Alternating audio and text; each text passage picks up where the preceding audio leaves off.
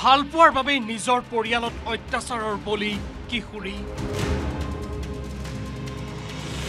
পোন্ধৰ দিন ধৰি শিকলিৰে ভৰিত বান্ধি ইটৰ প্ৰাণীৰ দৰে এৰাল দিলে পৰিয়ালৰ কিশোৰী সদস্যাক। কেমেৰাৰ সন্মুখত নিগ্ৰহৰ নিৰ্লজ্জ স্বীকাৰোক্তি ককাকৰ বান্ধি ৰাখিছে কিয় দি পেলাই কি কৰিছে মাথা পাগল মানে দিছে দেখি হেৰি কৰিলোঁ হিন্দুৰ বান্ধিছে। ভাল পোৱাৰ কাৰণে। অঁ। ভাল পাইছিলে মানে ছোৱালীজনীয়ে। তাৰ কাৰণে আপুনি যদি চিকলিৰে বান্ধি ৰাখিছিলে। এটা এটা আছে। ৰূপহীহাটৰ ফাকলি গাঁৱৰ বিলপাৰত ঘটিল ভাবিব নোৱাৰা জঘন্য ঘটনা। প্ৰেমৰ বাবেই কিশোৰীক দিলে তালিবানী শাস্তি। সন্তান নিয়ন্ত্ৰণৰ নামত পৰিয়ালৰ লোকেই চেৰাই গ'ল মানৱীয়তাৰ সীমা।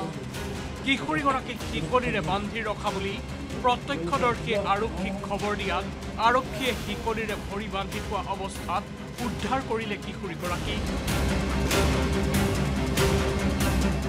মই ভাল পাইছিলোঁ। তাৰপিছত তাৰ লগত পলাই গৈছিলোঁ। তাৰপিছত মোৰ দেউতা কেৰেলাৰ পৰা মোক আমাক তাক আনিলে। আনি পেলাই সিক জেলত দি দিলে মোক ঘৰত লৈ আহিলে। কিমান দিন বান্ধি ৰাখিছিলে?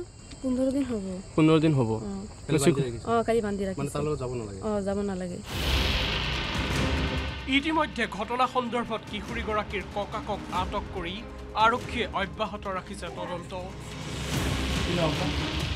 ৰূপহীহাটৰ পৰা Mujammil Haque news eighteen Asom north east.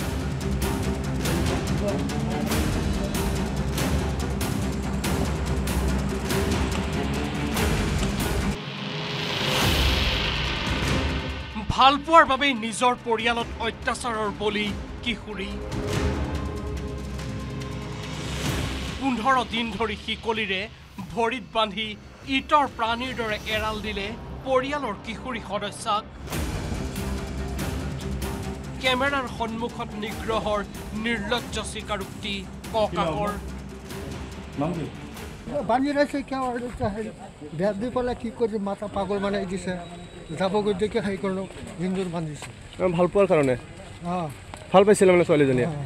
তাৰ কাৰণে আপুনি যদি চিকলিৰে বান্ধি ৰাখিছিলে। অঁ আৰু এটা এটা আছে।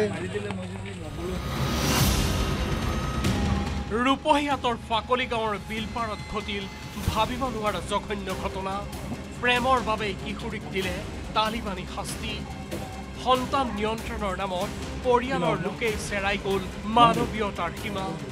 কিশোৰীগৰাকীক শিকলিৰে বান্ধি ৰখা বুলি প্ৰত্যক্ষদৰ্শীয়ে আৰক্ষীক খবৰ দিয়াত আৰক্ষীয়ে শিকলিৰে ভৰি বান্ধি থোৱা অৱস্থাত উদ্ধাৰ কৰিলে কিশোৰীগৰাকীক মই ভাল পাইছিলোঁ। তাৰপিছত তাৰ লগত পলাই গৈছিলোঁ। তাৰপিছত মোৰ দেউতা কেৰেলাৰ পৰা মোক আমাক তাক আনিলে। আনি পেলাই সিক জেলত দি দিলে সি মোক ঘৰত লৈ আহিলে। কিমান দিন বান্ধি ৰাখিছিলে? পোন্ধৰ দিন হ'ব। পোন্ধৰ দিন হ'ব। অঁ। কালি বান্ধি ৰাখিছে। অঁ যাব নালাগে। ইতিমধ্যে ঘটনা সন্দৰ্ভত কিশোৰীগৰাকীৰ ককাকক আটক কৰি আৰক্ষীয়ে অব্যাহত ৰাখিছে তদন্ত। ৰূপহীহাটৰ পৰা Mujammil Haque news eighteen Asom north east. Thank you.